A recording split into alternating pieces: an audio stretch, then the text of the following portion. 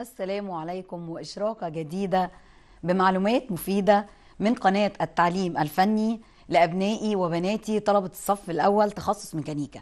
أهلا بيكم في حلقتنا النهاردة وبرنامجنا في بيتنا مدرسة وموضوع حلقتنا اليوم عن وحدة بتسمى بعنوان الرسم الفني. إحنا عارفين إن ممكن لو حد مثلا إدانا جملة كده قاعد يقول لي إيه؟ المستطيل هو عبارة عن خطين متقابلين. كل خط بطول معلوم والخطين المتقابلين بيساووا نفس المسافة. كلام أنا ممكن ما استوعبوش. إنما لو حد اداني رسمة مرسوم فيها مستطيل وبصيت كده عليه أقول إيه؟ آه ده مستطيل ده مربع ده دايرة ده شكل مخمس. أقدر إن أنا أقرأ بسهولة. فالرسم الفني يا ولاد هو لغة للتواصل. يعني ممكن من خلال رسمة عندي بقى رسم حر عندي رسم هندسي الرسم الفني اللي هو موضوع حلقتنا النهارده هو عبارة ان أنا بعبر بلغتي أو بعبر بالشيء اللي أنا عايز أوضحه عن طريق الرسم. طب علشان أقدر أوصل المعلومة دي وأعبر أو أطلع المخرج بتاعي أو أطلع الرسم اللي أنا عايز أقوله بعمل إيه؟ لازم يكون عندي الأول أدوات. أدوات الرسم طبعا إحنا عارفينها وإحنا كنا في ثالثه إعدادي كان دايما معانا المسطرة والقلم الرصاص بنرسم بيها والبرجل أحيانا لو أنا عايز أعمل دواير لما دخلنا بقى دلوقتي في سنة أولى في التعليم الفني الصناعي في التخصص بتاعنا لقينا عندنا بعض الأدوات أو بعض الرسومات اللي بتحتاج أدوات معينة علشان أقدر أطلع الرسم. زي إيه يا ولاد؟ زي مثلا عندنا بعض الأدوات هنتكلم عنها زي المسطرة العادية زي المثلثات زي البراجل بس ليها أنواع مختلفة زي مثلثات بأنواع مختلفة. إزاي هنقدر نعمل الزوايا؟ إزاي نقدر نرسم زاوية 30 زاوية 60 كمان هنعرف من خلال وحدة الرسم الفني إزاي نقدر نرسم ال isometric. ال isometric ده عبارة عن رسمة بس بتكون زي إيه؟ زي رسمة ثلاثية الأبعاد. بتبقى جايبة لي الرسم من كل الجهات. كمان هنعرف إزاي لما نرسم ال isometric ده نقدر نطلع المساقط التلاتة عليه وأقدر إن أنا بكل سهولة أوضح الرسمة بتاعتي. علشان أعمل ده عندنا مخرجات للتعلم. كام مخرج؟ يلا نشوفهم مع بعض. مخرجات التعلم اللي إحنا هنتكلم عنها في وحدة الرسم الفني. أول مخرج المخرج الأول اسمه يجهز أدوات الرسم الفني المختلفة. زي ما إحنا اتفقنا علشان أقدر أرسم لازم أجهز الأدوات الأول اللي أنا هشتغل بيها. المخرج الثاني يرسم العمليات والأشكال الهندسية الأساسية. يعني معنى كده إن في أشكال هندسية أساسية وفي أشكال هندسية مش أساسية عندي أو طبعا هنتكلم عنها. كمان من مخرجات التعلم المخرج الثالث يرسم المنظور الهندسي بزاوية 30 هتعلم أو هعرف إزاي أرسم المنظور الهندسي بزاوية 30 الزاوية 30 دي هجيبها منين يا مس؟ عن طريق المثلث. المخرج الرابع أو مخرج التعلم الرابع يرسم المساقط الثلاثة من المنظور الهندسي بزاوية 30 مش بس هرسم المنظور لا. ده أنا كمان هطلع منه الثلاث مساقط. المخرج الخامس يفسر الرموز والمصطلحات الميكانيكية. يعني بعد المفروض ما أخلص الرسمة بتاعتي لازم أشوف الرسمة دي. أبدأ أفسر الرموز بتاعتها أحط الأبعاد بتاعتها. أبدأ أشوف هو هنا في دوائر أحط لها بعد. طب الدايرة دي دايرة كاملة ولا الدايرة دي نص دايرة؟ ده قوس ليه بعد دي زاوية ليها بعد. ده إن أنا أقدر أفسر الرموز والمصطلحات الميكانيكية كمان لو في علامات تشغيل على الرسم.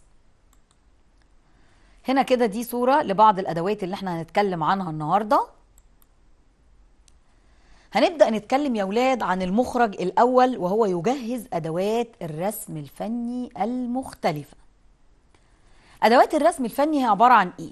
علشان أرسم يا سنة أولى لازم الأول يكون عندي ورقة أرسم عليها هو أنا ينفع أمسك القلم وأبدأ أرسم كده في أي مكان؟ لا لازم الأول يكون موجود عندي ورقة الورقة علشان أبدأ أطلع الرسم طيب الورق بتاع الرسم ده على حسب إيه؟ أكيد على حسب مقاس الرسم اللي عندي. يعني لو أنا عندي مثلا هرسم ايزومتريك بالأبعاد بتاعته كبيرة هجيب ورقة تكون المقياس بتاعها كبير. وهنتكلم دلوقتي يعني إيه المقياس كبير. طب لو رسمة صغيرة أو أبعادها صغيرة هستخدم الورقة على حسب الأبعاد. طب هو إحنا يا مس بنختار الورق اللي إحنا عايزين نشتغل عليه؟ إحنا بنختار الورق اللي إحنا عايزين نشتغل عليه بس المعلم بتاعي أو المدرس بتاعي أو المس أو المستر هم اللي بيقولوا إحنا هنستخدم ورق A4 A3 هنستخدم على حسب الرسم اللي عندنا وبنبدأ إن إحنا نرسم الأبعاد أو نرسم ال- الرسومات اللي مطلوبة مني. يلا نشوف مع بعض. إيه هي الورقة بتاعه الرسم؟ وهل ليها مواصفات ولا لأ؟ ولا أي ورقة بشتغل عليها وخلاص؟ يلا نشوف مع بعض. ورق الرسم القياسي أو الرسم الهندسي أو الرسم الفني يجب أن يراعى في اختيار ورق الرسم المواصفات الآتية. علشان أرسم لازم يكون عندي مواصفات للرسم أنا عارفها. إيه هي الورق اللي عندي؟ عندي ورق A 0 دي بتكون أكبر ورق يا أولاد زي ما إحنا شايفين. ده كده الحجم بتاعها اللي هي ال A 0 طب ال A 1 بيبدأ يعمل لي إيه؟ الورقة نصين. A 2 اللي هي A 1 و A 2 بيبدأ الحجم الورقة بتاعي يتقسم نصين. طب A 3 بيقسم لي ال A 2 A 4 و A 5 وهكذا لحد ما بوصل دي مقاسات كلها لورق الرسم اللي موجود عندنا. وطبعا زي ما إحنا شايفين وهنتكلم دلوقتي إن كل ورقة ليها أبعاد معينة محددة. طيب من مواصفات الورق ده إيه؟ لا يتمزق عند الرسم عليه وأنا برسم برسم بالقلم الرصاص أو برسم بقلم التحبير أو برسم بأي قلم أو برسم ببرجل دواير إن الورق يكون الخامة بتاعته كويسة. ما بتتقطعش وأنا برسم. كمان لو أنا بستخدم مثلا مسطرة اللي هي المسطرة ال- الحديدية دي برضو والبراجل لازم يكون الورق عندي قوي علشان يقدر يستحمل الأدوات. يحتفظ بآثار الخطوط عند مسحها. يعني لما أجي أرسم وامسح الخطوط ألاقي إن الورقة بتاعتي ال- الرسم ما بيروحش خالص لأن في خطوط أنا بمسحها وأرجع تاني أحتاجها. يتغير لونه مع مرور الزمن أو يتآكل. لازم الورق اللي يكون عندي اللي أنا برسم بيه يكون اللون بتاعه ثابت إن أنا مثلا ممكن المس أو المستر يقول لي إيه إحنا هنبدأ الرسومات بتاعتنا في أول السنة أنا محتاج 10 رسومات هنعملها. أنا عندي الرسم بتاعي 10 رسومات محتاجها. طب هو أنا هسلم الرسومات يا مس؟ لا أنا هستلمها منك في آخر السنة بس إحنا بنتابع وأنت بترسم وبشوف أنت بترسم صح ولا غلط أو أنت بترسمي صح ولا غلط وبنبدأ نصحح مع بعض ولو في لوحة بتتعاد طيب أنا المفروض إن أنا أحتفظ بالورق ده عشان إيه؟ علشان بعد ما تقيم يكون عندي في ملف الإنجاز بتاعي موجود عندي كل الرسم اللي موجود ده. ده شغلي وتعبي. طيب مهم جدا يا سنة أولى إن أنا لما أختار نوعية الورق الورق بتاعي يكون ما بيتأكلش بسهولة. مش مجرد ورق خفيف مجرد ما أحطه في الحافظة وأعينه أجي أطلعه ألاقي الورق اتهرى كده واتاكل. لا ألاقي الرسم مش واضح فيه. كمان ما بيتغيرش لونه. إن من مواصفات الورق الجيد إن لونه ما بيتغيرش علشان ما يأثرش على الرسم اللي موجود عليه. ده كمان شكل للورق يا سنة أولى. بصوا كده معايا هنا. ده شكل الورق اللي إحنا بنقول لازم يكون ورق كويس. شايفين؟ حتى السمك بتاع الورق واضح إن هو ورق متين. كمان إيه من المواصفات؟ لا يمتص الرطوبة حتى لا يتأثر زي ما إحنا قلنا بالرسومات. يعني يكون مقاوم للرطوبة علشان لما احطه مثلا وعينه في الفايل بتاعي وفي الدرج ما يحصلوش رطوبة ويبدأ الرسم بتاعي يبوظ. مقاوم التسرب عند الرسم عليه بالحبر. يعني إيه؟ يعني المفروض لما أجي أرسم بالحبر ما ألاقيش الورقة بتاعتي بتفرش مني. في ورق لما نيجي نكتب بالقلم الحبر ألاقي القلم الحبر بدأ إيه يفرش. يعني إيه؟ يعني يطلع كده مش الخط بتاعي طالع مستقيم. تحس إن هو مطلع كده أجزاء من القلم. مهم جدا إن أنا أجرب الورق. لو أنا هستخدم قلم التحبير إن أنا أجرب الورقة إن التحبير بتاعي ما يكونش بيفرش على الورق. يقاوم التكسر عند الرسم عليه. يعني وأنا برسم أو وأنا خلصت الرسم بتاعي والمفروض إن أنا هطبق الورقة بتاعتي وهعينها علشان أبدأ إن أنا أحطها في ملف الإنجاز بتاعي يكون الورق ده بيقاوم التكسر. مش مجرد إن أنا ممسكه الاقيه بيتكرمش في إيديا وبيبوظ بسرعة. طب في مواصفات كمان يا مس؟ آه في بقى ورق ناعم في ورق خشن في ورق متوسط. ده على حسب إيه؟ على حسب الأقلام اللي أنا برسم بيها وعلى حسب الأدوات اللي أنا برسم بيها وعلى حسب الرسم اللي أنا عايزه كمان. ببدأ أقول هو الرسم اللي أنا عايزه ده هل أنا هلونه؟ آه لو أنا هلونه بقى يبقى أنا محتاج ورقه تستحمل شوية. لا أنا مش هلونه ده أنا محتاج بس ممكن أجيب ورق متوسط علشان أنا هرسم بس عليه. طب الرسم ده بقى فيه تظليل وفيه تهشير وفيه تحبير؟ آه ده أنا عايز ورقة قوية علشان تطلع لي الرسم بتاعي يكون جيد. من أهم الأنواع المستعملة اللي أنا بستخدمها في الورق ده من أقلام الرصاص والحبر هي الأوراق اللي بيكون لونها أبيض أو ورق الرسم الشفاف اللي أنا ممكن أعمل إيه بيها يا سنة أولى؟ ان أنا ممكن لو أنا عايز مثلا أشف أو أنسخ الرسمة أنا ببدأ أحطها على الورقة وأبدأ إن أنا أشف الرسمة أو أعمل عليها بعض الرسومات. بختار الورق بتاع الرسم ده زي ما إحنا اتفقنا حسب الشكل اللي أنا عايزه. طيب هل في مواصفات دولية متعارف عليها للورق؟ أيوه. في حاجة عندنا أشكال أو مقاسات standard paper size يعني في مقاسات دولية متفق عليها أنا ما ينفعش إن أنا أألفها ما ينفعش أقول أصل ال A zero ده آه لأ ده ده أنا ممكن أجيب ورق. لأ كل ورق من الورق ده زي بالظبط كده القياس. إحنا عارفين إن إيه؟ قياس الطول. المتر هو الطول أو المتر وحدة الطول وحدة قياس والمتر. خلاص أنا عارف.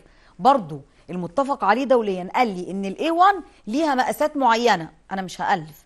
ال A 2 ليها مقاسات معينة. ال A 0 ليها مقاسات معينة. تعالوا بقى نشوف مع بعض ال A 1 مقاسها إيه وال A 2 ونتكلم مع بعض عن المقاسات الدولية للورق. شوف مع بعض هنا. أنواع ورق الرسم. إحنا اتفقنا إن في أنواع. رمز الورقة إيه بقى A 0 أبعاد الورقة بالمليمترات. كام بقى بعد الورقة؟ 11 1890 آه كده؟ امم لا دي 1189 أيوه برافو عليكم.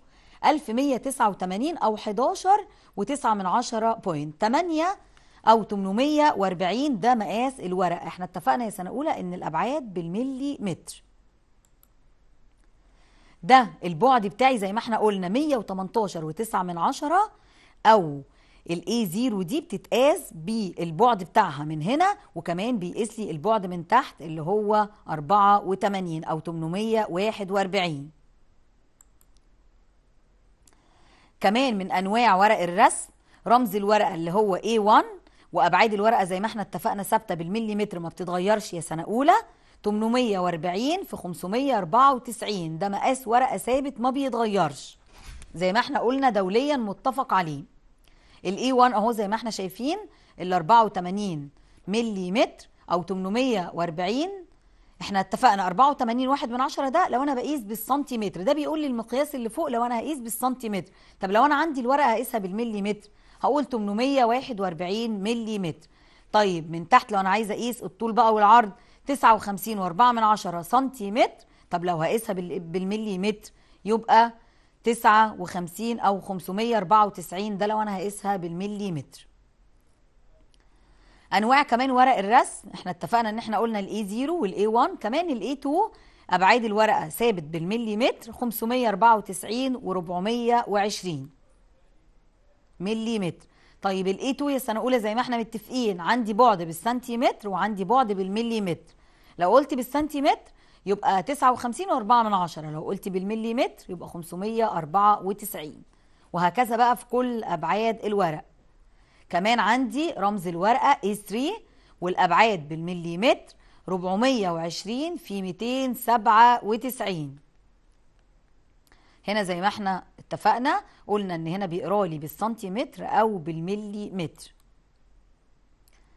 كمان من أنواع ورق الرسم وده أكتر نوع بقى متعارف عليه وبنرسم فيه وبنستخدمه اللي هو الاي 4 الأبعاد بتاعته 297 في 210 وده زي ما إحنا اتفقنا أهو 297 في 210 وده يا شباب الورق اللي إحنا بنستخدمه أو ورق الرسم. مش إحنا لما بنروح نصور عند الراجل كده نقول له سمحت صور لي ورقة بيديني إيه؟ بيديني الورقة ال A 4 اللي هي دي.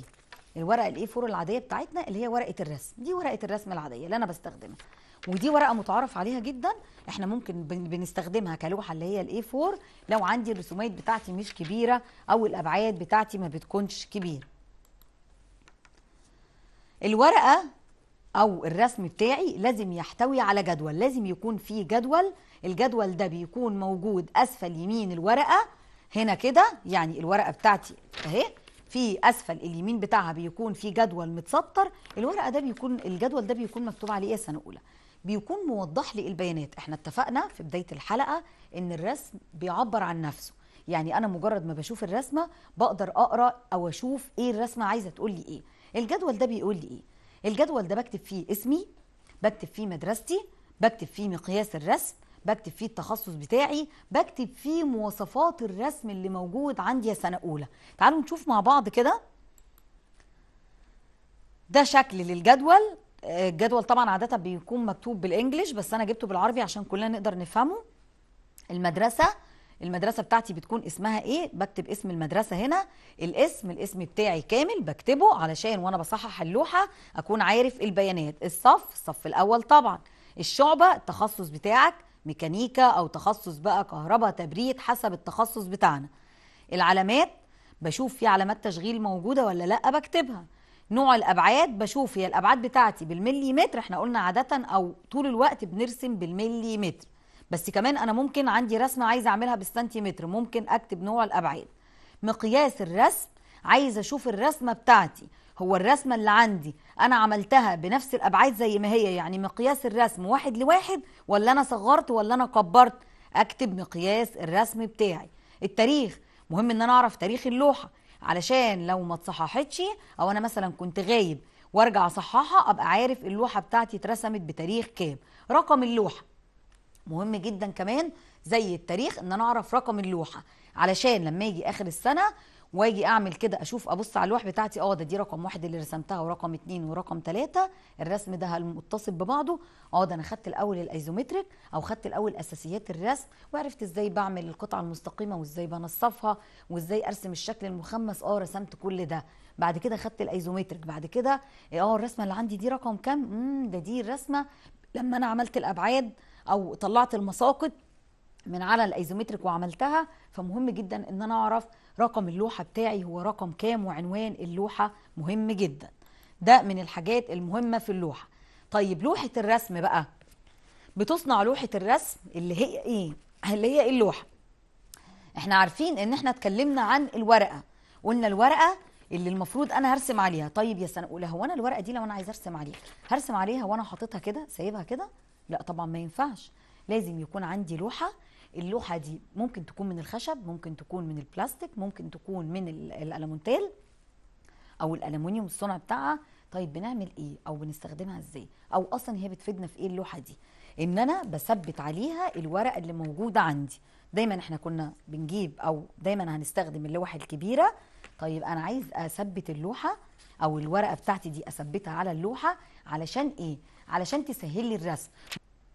يبقى لازم عندي أهم حاجة إن زي ما إحنا اتفقنا إن يكون عندي اللوحة اللي أنا بثبت عليها الورقه اللي موجوده عندي. ليه؟ سنه أولى. ليه يكون عندي لوحة أثبت عليها الورقه لأن وأنا برسم إيه اللي هيحصل؟ ممكن الورقة بتاعتي دي مثلا تتهز أو ممكن الأبعاد بتاعتي وأنا بستخدم المثلث أو المسطرة حرف T مش هقدر أستخدمها لأنه طول الوقت أنا محتاج الورقة بتاعتي تكون متثبتة. فلازم يكون عندي لوحة للرسم بثبت عليها الورقة. وكمان بتحافظ لي على الورقة مثلا لو أنا مثلا أحطها على المكتب أو أحطها على ال desk بتاعي لو ال desk بتاعي ال- ال- الشقه والسطح بتاعه مش مستوي هيبدأ يبوظ لي اللوحة بتاعتي أو الورقة بتاعتي. فمهم جدا إن أنا أستخدم لوحة. نشوف مع بعض كده اللوحة دي مواصفاتها إيه. لوحة الرسم هي عبارة عن لوحة بتصنع من الخشب المجفف ودي بتكون عبارة عن عدة ألواح متماسكة مع بعضها بواسطة قطعتين عريضتين من الخشب علشان يقووا لي اللوحة زي ما إحنا شايفين كده. عبارة عن شرايح من الخشب وفي الجزئين اللي موجودين دول هما اللي بيمسكوا لي اللوحة. طبعا ده ظهر اللوحة. يجب أن يكون سطحها ناعم زي ما إحنا قلنا. مهم جدا إن سطح اللوحة يكون ناعم ومستوي علشان وأنا برسم ما بوظش الورق لازم كمان نحط على الجانب الأيسر قطعة من الخشب الأبانوس علشان إيه؟ علشان المسطرة حرف T بتثبت على الجانب الأيسر يعني على الشمال هحط المسطرة حرف T فالمسطرة حرف تي هي أساس الرسم فلازم يكون عندي الجانب ده مستوي. لا تتأثر بالتقلبات الجوية من تمدد أو انكماش. آه يعني لما أحطها في المعمل عندي أو في المرسم ما الاقيهاش إن هي بدأت تتقوس وبدأت تتأثر بعوامل الحرارة أو البرودة. كمان دي بعض الرسومات للوح زي ما إحنا شايفين. دي اللوحة الخشبية اللي إحنا اتكلمنا عنها. في هنا كمان ممكن تكون لوحة متثبتة أو هي موجودة. أنا ما بح يعني ما بحطهاش على حاجة. وفي هنا بعض اللوح إن أنا ممكن أحطها على المكتب ودي بتكون لوحة متحركة أنا بعملها حسب الزاوية أو اللي أنا عايز أرسم عليها. طيب إحنا دلوقتي قلنا إن إحنا عندنا ورقة وعندنا كمان لوحة. طيب أنا دلوقتي اولى عايز أثبت الورقة اللي عندي دي على اللوحة بتاعة الرسم دي. أثبتها عن طريق إيه؟ أثبتها عن طريق الشريط اللاصق اللي هو ده. ده الشريط اللاصق اللي أنا بثبت عن طريقه اللوحة. بستخدمه إزاي؟ نشوف كده هنا مع بعض. ببدأ إن أنا أهو أشد اللزق بتاعي كده وأبدأ إن أنا أقطع اللزق بكل سهولة. أهو كده وأثبت الورقة بتاعتي تكون متثبتة ومظبوطة جدا عندي وأبدأ إن أنا أعمل إيه؟ أثبت أطراف اللوحة اللي موجودة هنا كده أثبتها على لوحة الرسم. خلاص أنا ثبت من هنا لازم يا سنة أولى أثبت من الأربع جوانب. مهم جدا وأنا بثبت لوحة الرسم أثبتها من الأربع جوانب عن طريق إيه؟ عن طريق الشريط اللاصق اللي إحنا شايفينه مع بعض ده. تعالوا كده نتكلم عنه هنا. بيستخدم لإيه؟ بستخدمه علشان أثبت بيه الورق على اللوحة. من جميع الزوايا الأربعة اللي موجودة عندي وده علشان أحصل على رسومات دقيقة. يبقى في حاجتين بتديني رسم دقيق. إيه هما؟ أول حاجة إن أنا أثبت الورقة على اللوحة اللي موجودة عندي يكون عندي اللوحة.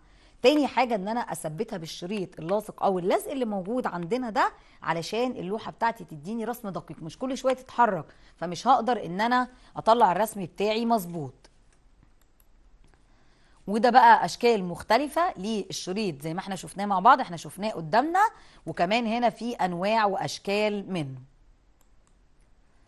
المسطرة حرف T دي بتصنع من الخشب أو اللدائن أو الالومنيوم ودي ما بقدرش أستخدمها أو ما. يعني ما بيفضلش إن أنا أستخدمها من الالومنيوم لأن ممكن وأنا برسم تقطع لي الورقة اللي موجودة عندي. كنت أتمنى إن أنا أجيب لكم المسطرة حرف T تشوفوها بس هي هتبقى كبيرة هنا على الاستوديو مش هتعرفوا تشوفوها كويس. بس إن شاء الله يعني إحنا هنشوف صورتها دلوقتي. مسطرة حرف T بتكون عبارة ليه اسمها حرف T لأن هي بتكون شبيه لحرف ال T بيبقى فيها المقياس بتاع الرسم أو جزء من المقياس المتدرج في تدريج بيكون طويل وفي جزء كده موجود متثبت فوق على المسطرة. ده علشان إيه؟ علشان أثبت اللوحة وأرسم كل الخطوط اللي موجودة عندي. علشان لما أطلع الخط ما أطلعش الخط فيه ميل. لو أنا برسم بالمسطرة العادية هيبقى الخط مايل طب لو أنا هثبت المسطرة أو اللوحة بتاعتي بالمسطرة حرف T بتديني الخطوط المتوازية. نكمل كده مع بعض. ده شكل المسطرة حرف T نشوفها كده أهو. ده إحنا قلنا ده الجزء اللي هو مدرج. عشان أنا ممكن وأنا برسم اخد من عليه مقاسات. كمان الجزء ده اللي هو أنا بسنده على اللوحة. زي ما إحنا شايفين في اللوحة اللي موجودة دي أو دي اوضح شوية كمان. هنا كده المسطرة حرف تي اهي سنه اولى شايفين الجزء اللي موجود ده هو ده الجزء اللي بيبقى على يسار اللوحة وده الجزء المدرج. شايفين هنا بعمل إيه؟ أنا ممكن أحط عليه المثلث علشان ادي أو اطلع الرسم بتاعي دقيق بخطوط متوازية. طيب حافة المسطرة لازم تكون موجودة على الورقه يعني المسطرة تكون متثبتة على الورقه وتكون مستقيمة ما تبقاش بميل. أجزاء المسطرة حرف تي جسم المسطرة وده زي ما إحنا قلنا بيكون فيه جزء مدرج وده من أهم العناصر اللي موجودة في المسطرة اللي هو الجزء المدرج ده لأن أنا عن طريقه باخد كل الخطوط اللي موجودة. في كمان الجزء اللي أنا بقول عليه اللي هو رأس المسطرة ده بيكون متعامد عند التثبيت وده ممكن إن هو يكون حر إن أنا ممكن أركبه أو إن أنا أشيله. أهو الجزء ده أنا ممكن إن أنا أشيله يعني في أجزاء من المساطر أو في أشكال من المساطر. الجزء ده بيتشال وبيتحط فيه الجراب بتاعه وفي أجزاء تانية بيبقى متثبت على المسطرة. فعلى حسب بقى الشكل أو على حسب نوع المسطرة اللي أنا بستخدمها طب بستخدم المسطرة دي في إيه؟ سنة أولى. بستخدمها في رسم الخطوط الأفقية المستقيمة زي ما إحنا اتفقنا خطوط مستقيمة. وهي بتسند لي أو بتكون ساند لأدوات الرسم اللي موجودة عندي زي المثلثات أو المنقلة أو الأجزاء اللي موجودة عندي. طيب أشهر أنواع المس... المساطر الحرف تي دي 80 في 100 ودي بتكون طبعا بالمليمتر. لازم وأنا بستخدم المسطرة لازم تكون راس المسطرة تكون موجودة على اللوحة بتاعة القياس. الراس اللي موجودة عندي دي إحنا اتفقنا إن هي شكل حرف تي كده. لازم راس المسطرة دي تكون موجودة على اللوحة والمسطرة بتاعتي تكون متثبتة على الورق اللي موجود. ده شكل بقى للمسطرة حرف تي بالجراب بتاعها. مهم جدا يا سنة أولى إن وأنا بستخدم أدوات الرسم الفني لازم أحافظ عليها.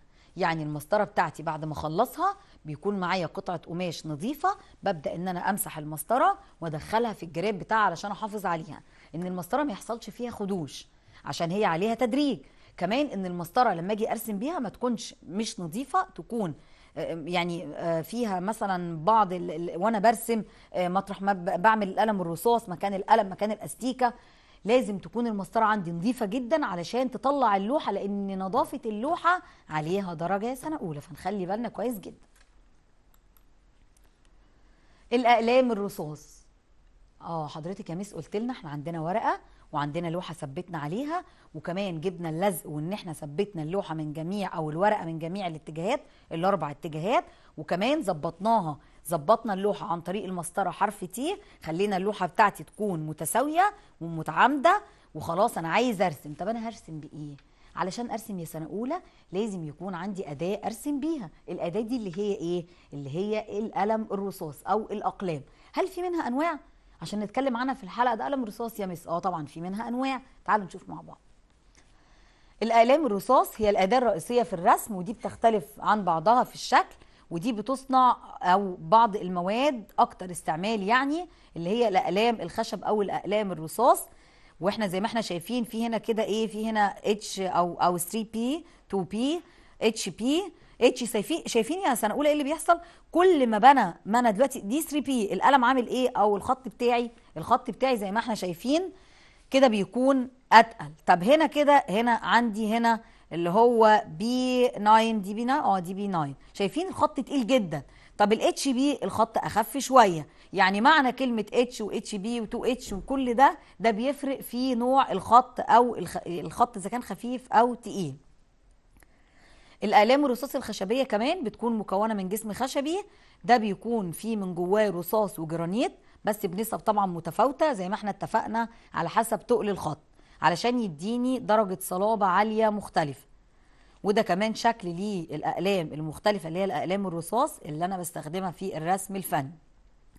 كمان عندي حاجة بقى جديدة إحنا بنستخدمها اسمها اقلام رصاص ميكانيكية.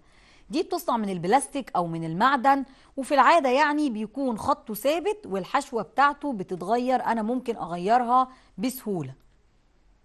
زي إيه؟ زي الأقلام اللي عندنا اللي هو القلم اللي إحنا بن أو يعني بنقول الاسم الدارج بتاعه قلم السنون. دي الأقلام اللي موجودة عندنا. نشوف كده الأقلام هنا مع بعض. دي الأقلام الرصاص أهي. عندي زي ما إحنا اتفقنا عندي القلم الرصاصي العادي اللي هو الخشب ده اللي أنا بكتب بيه وبيكون مكتوب عليه من هنا كده هو القلم ده إيه؟ القلم ده HB ولا القلم ده 2 B أو على حسب القلم ما بيكون موجود. يعني بيقول لي وأنا بشتريه القلم ده خطه بيكون عامل إزاي. هنا كمان ده القلم أو الأقلام الميكانيكية اللي إحنا قلنا عليها ودي اللي إحنا قلنا السن بتاعها بيتغير بسهولة. دي ببساطة الأقلام الرصاص. الممحاه أو الاستيكه ببساطه كده يعني. الاستيكه دي أنا بستخدمها في إيه؟ مش محتاج ان أنا أقول أصلا واقول في الرسم إيه. الاستيكه ان أنا بستخدمها ان أنا لو في خطأ موجود عندي في الرسم أنا بمسح بيه الاخطاء اللي موجوده. طيب الاستيكه دي مهم عندي يكون ليها مواصفات؟ آه الاستيكه اولا لازم تكون النوع بتاعها يكون نوع كويس. علشان وأنا بمسح بيها ممكن اللوحة بتاعتي كلها تبوظ. مفيش حاجة أهم من حاجة في الرسم. يعني إحنا بنقول الاستيكة يا سنه اولى دي شيء بسيط جدا.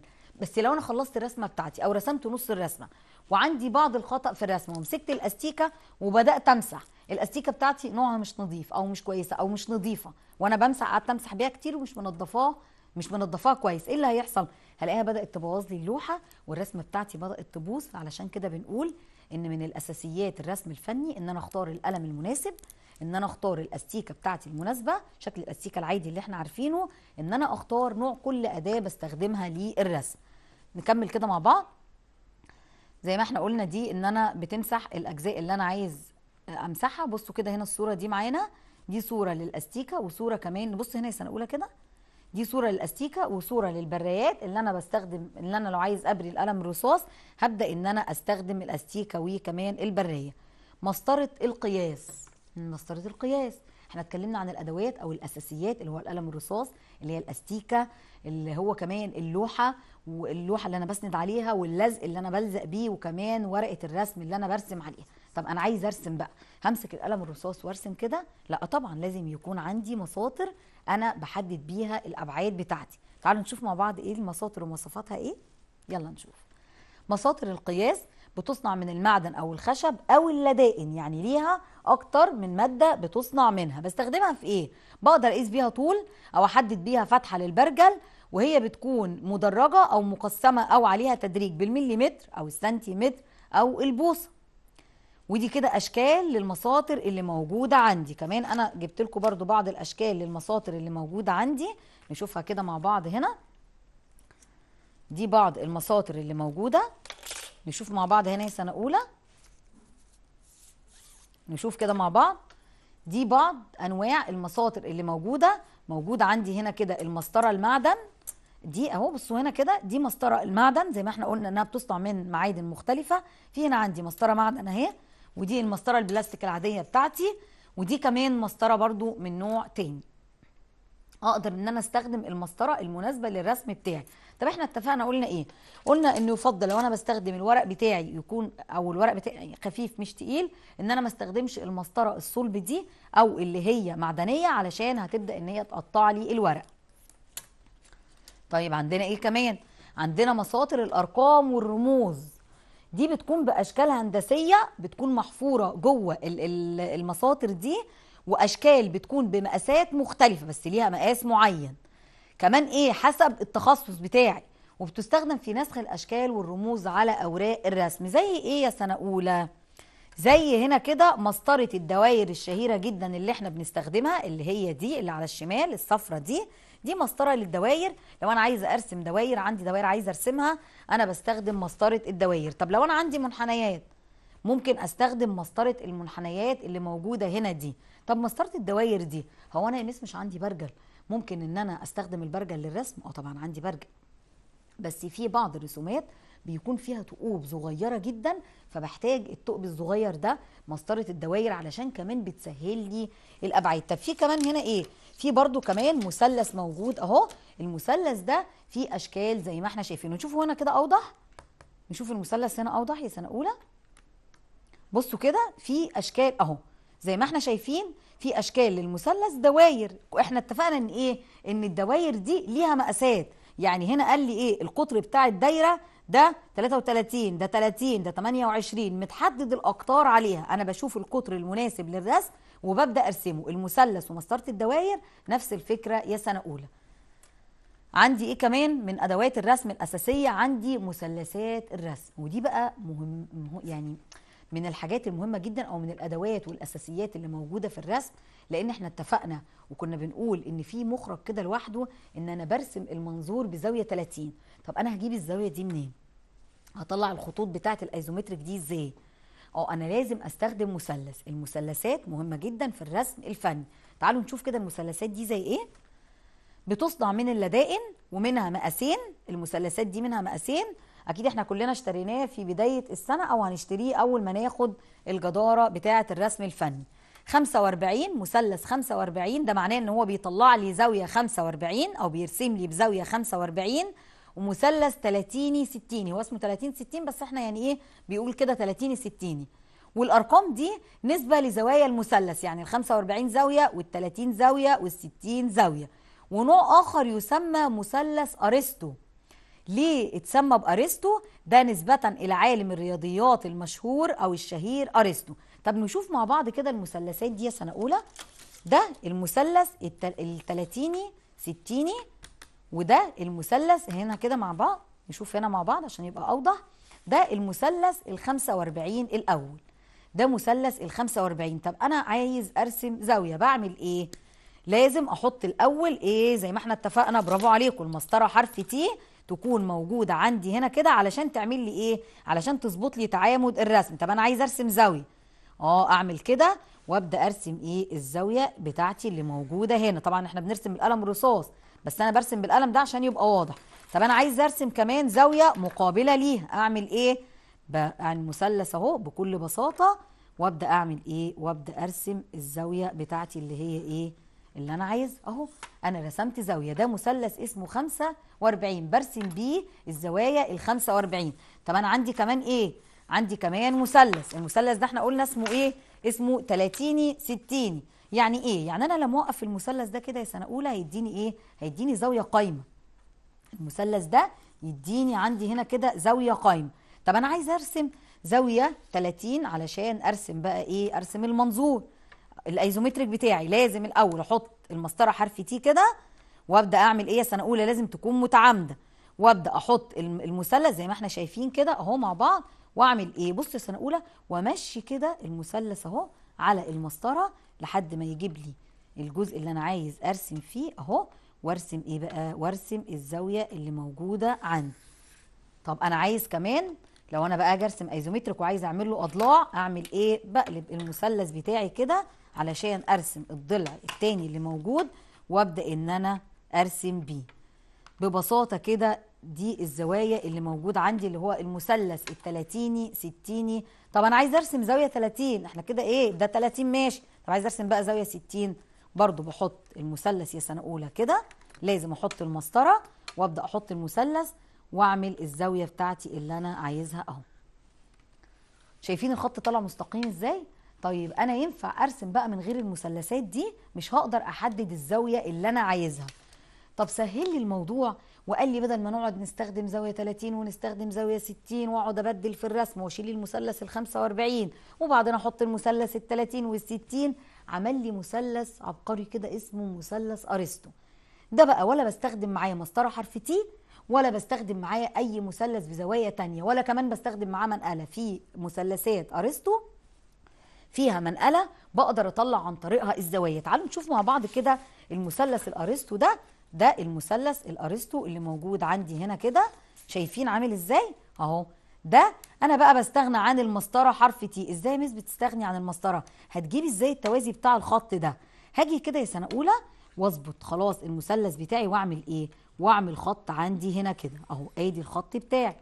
ده خط زي ما إحنا شايفينه. طب أنا عايز أعمل خط موازي ليه؟ أعمله إزاي؟ المثلث الأرسطو زي ما إحنا شايفين فيه خطوط مربعة أهي. في خطوط مربعة لو واضحة ليكم أيوه واضحة أهي. شايفين المربعات دي بعمل إيه؟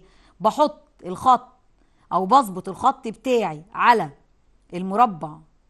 أهو شايفين المربع أهو. أنا ظبطته على الخط اللي أنا رسمته وأعمل إيه؟ وأعمل خط تاني تحت. خطوط متوازية مليون المية. شايفين التوازي؟ أهو. خطوط متوازية مظبوطة جدا. طب أنا عايز أعمل خط كمان. أعمل برضو خط تاني. أبدأ أهو. أنا عايز مثلا أزود المسافة بين الخطوط. أزود المسافة أزود مربع كمان وأبدأ أعمل إيه؟ أزود المسافة بين الخطوط. شايفين يا سنة أولى؟ بيرسم لي الخطوط متوازية. طب أنا عايز أعمل زاوية عليه. بعمل إيه؟ باجي هنا كده بقول له والله أنا عايز أعمل زاوية 90 أنا ظبطت المثلث بتاعي وهنا بصوا هو محدد لي الزاوية 90 أهي. أعمل كده ودي النقطة بتاعتي وأبدأ إن أنا أوصل النقطة بتاعتي بالمسطرة أو بالمثلث على حسب الأداء اللي موجوده عندي. طب أنا عملت زاوية 90 أنا محتاجه أخد زاوية تانية. اخدها إزاي بالمثلث أرسطو؟ بظبط كده هنا يا سنة أولى. أهو لازم يتظبط عندي كده على الزاوية بتاعتي. وبقول إيه؟ هنا متقسم زوايا 10 20 30 40 حتى كمان مقسم لي الزوايا. زاوية 45 زاوية 50 زاوية 60 آه أنا عايز زاوية 60 أرسمها هنا. أهو. وأبدأ إن أنا أوصل الزاوية بتاعتي كده. رسمت الزوايا اللي أنا عايزها. علشان كده بقول إن الرسم الفني ليه أساسيات مهمة جدا أو ليه أدوات عن طريقها أنا بتقدر تساعدني الأدوات دي إن أنا أطلع الرسم بتاعي مظبوط زي المثلثات اللي إحنا شفناها من شوية وزي كمان مثلث أرسطو اللي أنا بقدر أستغنى عن كمان المسطرة حرف تي وبعمل منه زوايا وبيسهل لي عملية الرسم وأنا برسم. تعالوا كده نشوف الكلام اللي إحنا قلناه ده مع بعض.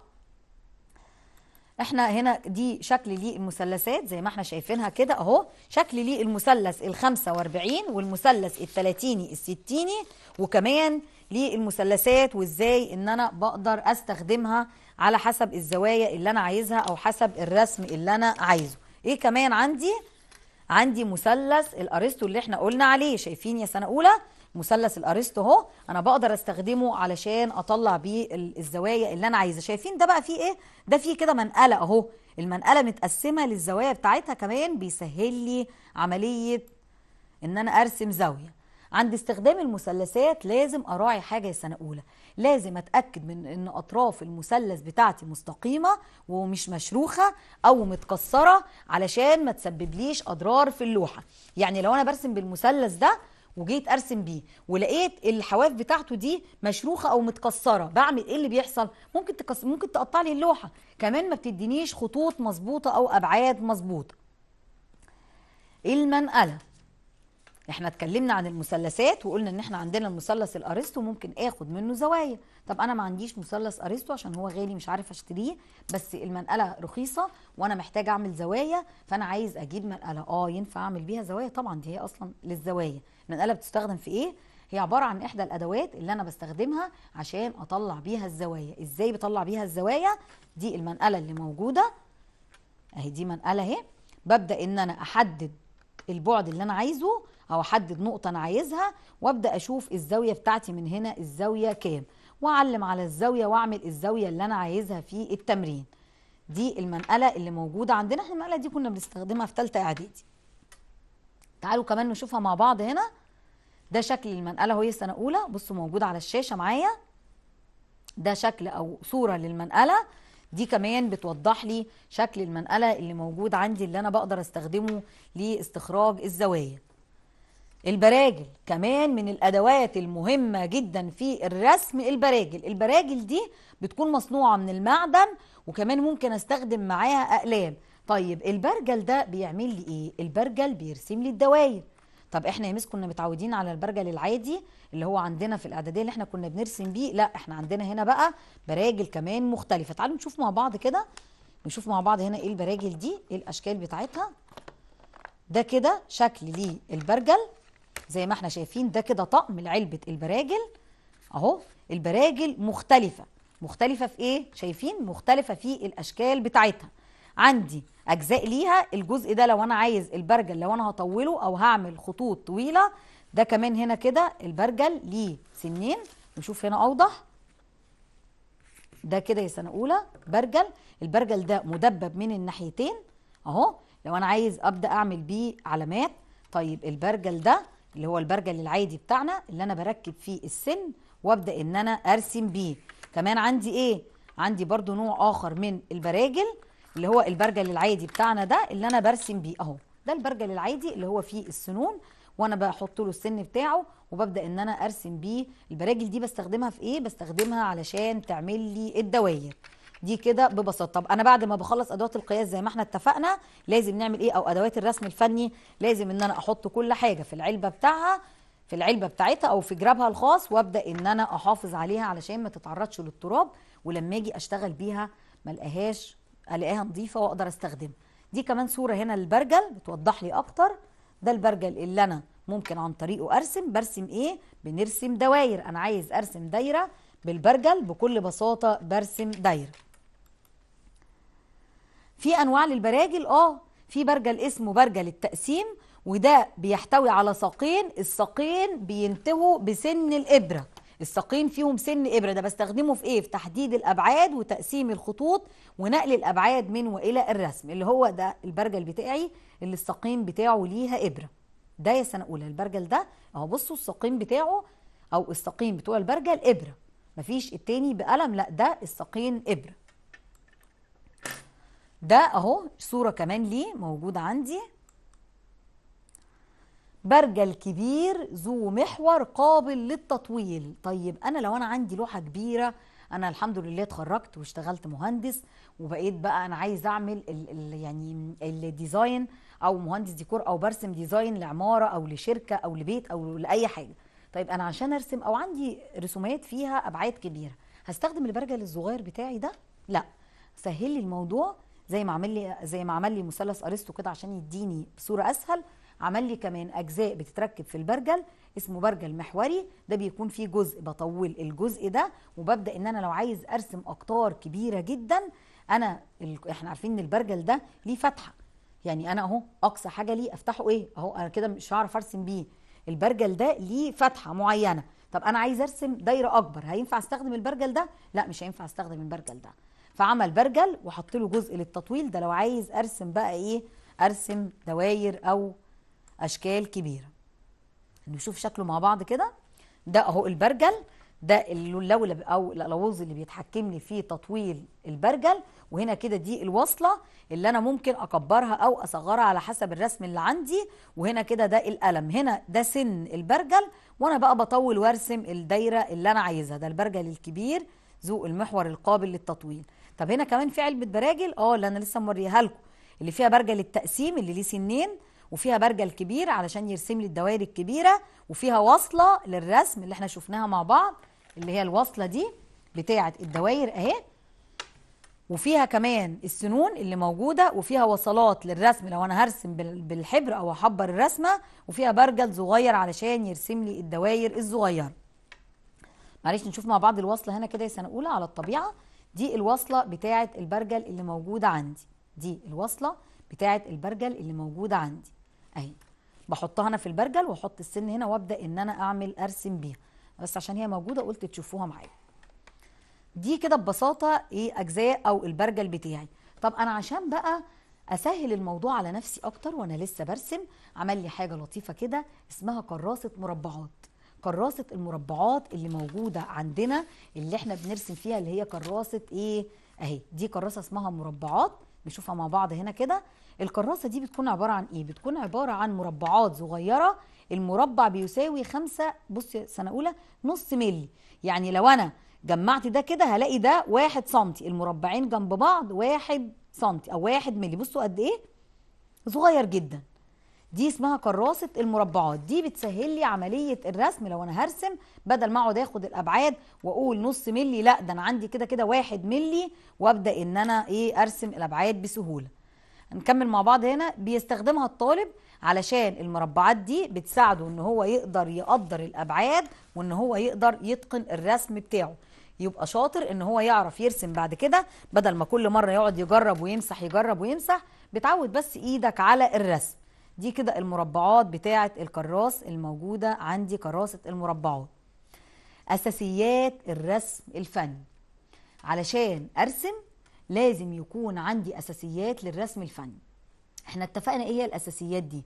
قلنا الأساسيات المهمة أول حاجة توافر الأدوات اللي موجودة اللي هي إيه سنة أولى؟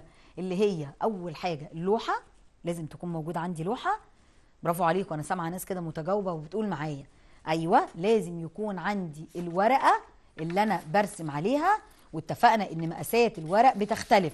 عندي ورق A0 ورق A1 ورق A2 A3 A4 وإحنا قلنا إن دي ورقة الاي 4 العادية اللي إحنا بنرسم عليها أو اللي هي ورقة التصوير اللي إحنا عارفينها. بعد ما حددت الورق عملنا إيه مع بعض؟ برافو عليكم. بدأنا إن إحنا نستخدم القلم الرصاص وعرفنا كمان أنواعه هي إيه. القلم الرصاص الخشب اللي أنا بقدر أستخدمه علشان أرسم بيه كمان عرفنا إيه؟ عرفنا كمان القلم اللي هو الميكانيكي اللي هو قلم السنون واتكلمنا كمان عن المثلثات وعن البراجل كل دي أساسيات. طيب أنا علشان أبدأ أرسم لازم إيه؟ لازم يكون عندي أساسيات يعني إيه؟ سنة أولى. يعني أكون عارف أول حاجة مقياس الرسم اللي برسمه هو إيه. الرسم ده واحد لواحد علشان أنقل نفس الأبعاد؟ آه لأ ده مختلف. ده اتنين لواحد ده تلاتة لواحد. طب أنا هشوف ده تصغير ده تكبير. لازم أكون عارف. كمان لازم أكون عارف إيه؟ أكون عارف نوع الخط اللي برسمه. هل أنا هرسم ده مجسم أو هرسم شكل الخط بتاعي يكون تقيل؟ القلم الرصاص يكون تقيل؟ ولا لأ ده أنا برسم بعد بس وأبدأ أعمله بخط خفيف؟ طيب وأنا برسم السهم بتاع الأبعاد. أنا رسمت رسمة وعايز أعمل السهم بتاع البعد. هل البعد ده أو السهم ده هيكون لازق في قلب الرسم اللي أنا عامله؟ طب الخط اللي أنا هاخد عليه الأبعاد يكون لازق في الرسم؟ لأ كل دي أساسيات للرسم. علشان أطلع رسمة مظبوطة عندي لازم أتعلمها ولازم يكون قدامي الرسم ولازم يكون عندي أساسيات للرسم. تعالوا نشوف مع بعض كده أساسيات الرسم هي إيه؟ يلا نشوف مع بعض. الخطوط في الرسم. مهم جدا الخطوط في الرسم يا سنة أولى. الخطوط بتختلف عن بعضها في الشكل والسمك ونوع القلم أو نوع القلم الرصاص المستخدم وده بيكون ليه أنواع كتيرة. يعني إيه؟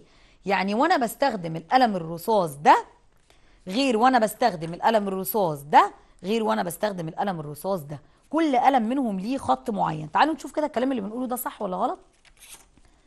المسطرة هي سنة أولى وببدأ أعمل إيه؟ ببدأ أعمل خط. طب نشوف القلم ده كمان اللي عندنا. إحنا اتفقنا إن إيه؟ إن نوع القلم بيفرق. هنا كده ده خط عندي. شايفين الخط هنا عامل إزاي؟ واضح. طيب أنا جيت أستخدم هنا كده كمان خط موجود عندي. خط اهو. كده قدامي خط. طب أنا هستخدم خط كمان تاني. الخط بتاعي اهو. شايفين؟ هل الخط ده زي الخط ده زي الخط ده؟ لا طبعا بيختلف. بيختلف نوع الخطوط. فعلشان كده بقول إن حسب القلم الرصاصي اللي موجود عندي بيختلف نوع الخط اللي موجود. إيه كمان اللي بيخلي الخطوط بتختلف اختلاف الخط نفسه. شايفين هنا كده معايا؟ الخط المستقيم. الخط المستقيم ده عبارة عن إيه؟ من اسمه كده خط مستقيم. هو الأثر الحادث من تحرك نقطة وليس له طول محدود. يعني اللي أنا رسمته ده خط مستقيم. أنا جيت من أي نقطة ورحت بالمسطرة واخد خط هو ده الخط المستقيم. ده عندي كده خط مستقيم. طب أنا الخط ده بحتاجه على حسب إيه؟ على حسب النوع بتاعه السمك السمك ده أكبر السمك ده أقل منه شوية. طب السمك ده أقل. طيب هو في بقى ممكن خطوط تانية بتبين لي الرسم ده إيه؟ آه تعالوا نشوف مع بعض. أنواع الخطوط. مهم جدا. نبص مع بعض هنا كده على الشاشة. أنواع الخطوط. خط متصل سميك. يعني إيه خط متصل سميك؟ يعني الخط بيكون موجود عندي متصل جنب بعضه بس بيكون السمك بتاعه زيادة. الخط عندي يا سنة أولى السمك بتاعه زيادة. سمك الخط قد إيه؟ نص ملي متر من واحد لاتنين. يعني إيه؟ أدي الخط أهو وهنا كده عندي الإيه؟ الخط السميك بتاعي. ده خط سميك أهو. ده خط السميك. طب ده بستخدمه في إيه الخط السميك ده؟ بستخدمه لو أنا عايز مثلا أعمل شكل هبدأ أرسم ال isometric. لازم الخطوط الخارجية بتاعة ال isometric تكون واضحة تكون واضحة بالخط السميك المتصل. طيب إيه كمان من الخطوط؟ الخط المتصل السميك ده بستخدمه في إيه؟ هنا على الشاشة يا سنة أولى. للخطوط الظاهرة زي حواف الدوائر. لما أجي أرسم دايرة أستخدم الخط السميك اللي موجود عندي. خط متقطع رفيع للخطوط المختفية وده بيكون واحد ملي متر لحد 35 ملي متر ده الايه بقى؟ لو أنا دلوقتي أنا أنا هو أنا قاعد كده دلوقتي أو أنا قاعدة اهو دلوقتي شايفه إيه؟ شايفين إيه سنه اولى شايفين وأنا قاعدة وشي وايديا وجسمي. طيب حد شايف الاجزاء الداخليه اللي عندي؟ حد شايف مثلا القلب؟ حد شايف قلبي؟ حد شايف مثلا الكبد؟ حد شايف الامعاء؟ حد شايف القفص الصدري اللي موجود؟ لا ما حدش شايفه. طب هو معنى كده إن هو مش موجود؟ أو ملوش وجود؟ لا طبعا كل الأجزاء دي موجودة. الخط بقى المتقطع ده بيقول لي إيه؟ بيقول لي إن الخط ده موجود في الرسم بس مش باين. الخط موجود في الرسم عندي بس مش باين. تعالوا نشوف كده مع بعض إزاي. نشوف مع بعض هنا. ده الخط المتقطع. معناه إن الخط موجود في الرسم بس إيه؟ زي ما إحنا قلنا بس مش ظاهر. أهو.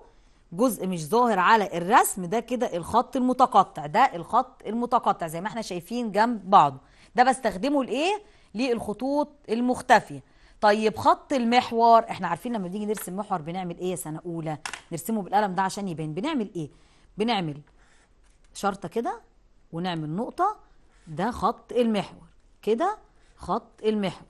أهو خط المحور. ده كده لو أنا هرسم محور عايز أعمل مثلا محور لدايرة كده وأبدأ إن أنا أعمل إيه؟ أهو ده خط المحور اللي موجود عندي اللي هو شرطة ونقطة. ده خط لو أنا لو أنا بستخدمه في المحاور ده الخط المحور. تعالوا نشوفه مع بعض على الشاشة كده كمان. خط المحور ده لتعيين المحاور ومراكز الدوائر. بستخدمه يا سنه اولى علشان لو أنا هعمل مركز لدايرة أنا عايزه أعمل دايرة فبستخدم خط المحور. خط رفيع متعرج ده بستخدمه لإيه بقى؟ لو أنا عندي جزء كده مش هرسمه بستخدم الخط المتعرج اللي موجود عندي ده. خط متصل رفيع. ده لو أنا عايز أعمل خطوط التهشير اللي موجودة كمان المثلث ال 45 بيست... بستخدمه علشان أعمل بيه التهشير. إيه هي بقى القواعد الأساسية علشان أكتب البيانات؟ أول حاجة لازم أحدد نهاية الخط براس أو بسهم. أحط سهم أعمل خط وأحط السهم. يعني إيه؟ يعني أعمل كده يا سنة أولى. أنا عندي مثلا الرسم بتاعي أعمل إيه؟ أحط الخط بتاعي كده. ادي خط أهو. وادي كمان خط بس طبعا يكون اصغر من كده بس أنا عاملاه عشان يبقى واضح. وأعمل إيه؟ وأحط ده كده وأقول إن ده السهم اللي هعمل إيه؟ ده هكتب عليه البعد. البعد هنا مثلا 60 يبقى لازم أعمل الخطوط دي علشان أقدر أبين العلامات اللي موجودة عندي. في مقياس رسم زي ما إحنا اتفقنا؟ أيوه في مقياس رسم هو اللي بيحدد لي. يبقى إحنا كده اتكلمنا النهارده عن إيه؟ اتكلمنا عن الأساسيات في الرسم. عرفنا انواع الخطوط اللي أنا بستخدمها وأنا برسم الخط السميك لو الخطوط الزهرة للأشكال أو الخط الشرط أو اللي هو فيه فواصل ده اللي الحاجات أو الخطوط اللي موجودة بس مش ظاهره عندي. كمان لو أنا عايز أعمل آه، محور بستخدم اللي هو الشرطة ونقطة. كمان خدنا إيه؟ خدنا المساطر وعرفنا إيه هي أنواعها. وخدنا المثلثات ال 30 60 وال 45 والمثلث الأرسطو والأقلام الرصاص والبراجل وكل دي كانت أساسيات للرسم الفني. إن شاء الله إحنا كده حلقتنا خلصت. إن شاء الله الحلقة الجاية هنبدأ بقى نجيب كل اللي إحنا شرحناه مع بعض ده ال- الأدوات دي كلها وعرفنا بتستخدم إزاي ونبدأ بقى ننفذ رسمة مع بعض. هنرسم بقى ايزومتريك هنرسم بقى مجسم هنرسم مجسمات هنرسم رسومات وهنبدأ ننفذ مع بعض. كده حلقتنا انتهت وإن شاء الله نتقابل في حلقة جاية وإلى اللقاء.